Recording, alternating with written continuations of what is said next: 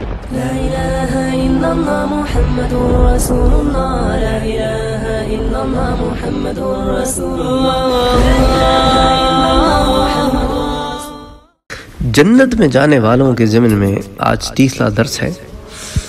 اس ضمن میں جو اب حدیث میں آپ کے سامنے پیش کروں گا، اسے امام مسلم نے روایت کیا ہے۔ حضرت ام حبیبہ رضی اللہ تعالی عنہ حضور اکرم صلی اللہ علیہ وآلہ وسلم کی زوجہ محترمہ سے روایت ہے کہ انہوں نے اللہ کے رسول صلی اللہ علیہ وآلہ وسلم کو فرماتے ہوئے سنا ہے کہ جو شخص روزانہ اللہ کی رضا کے لیے فرض نماز کے رکتوں کے علاوہ بارہ رکت اور ادا کرتا ہے، اللہ تعالیٰ اس کے لیے جنت میں ایک گھر بناتا ہے۔ اب یہ بارہ رکتیں کون سی ہیں؟ دو رکتیں تو فجر کی ہو گئیں، فجر سے پہلے، فرض سے پہلے۔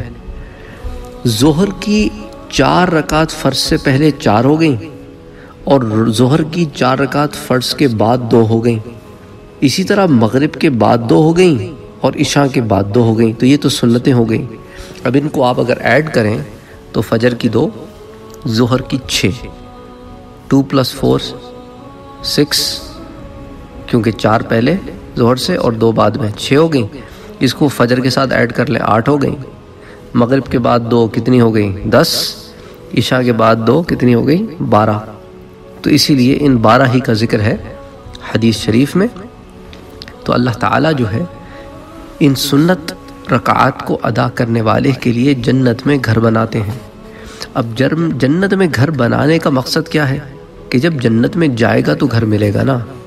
تو اس لیے اللہ کی رضا کے لیے جو شخص روزانہ یہ بارہ رکعت پڑھے فجر سے قبل دو رکعت، نماز ظہر سے قبل چار رکعت، بعد میں دو رکعت، نماز مغرب کے بعد دو رکعت، نماز عشاء کے بعد دو رکعت سنت۔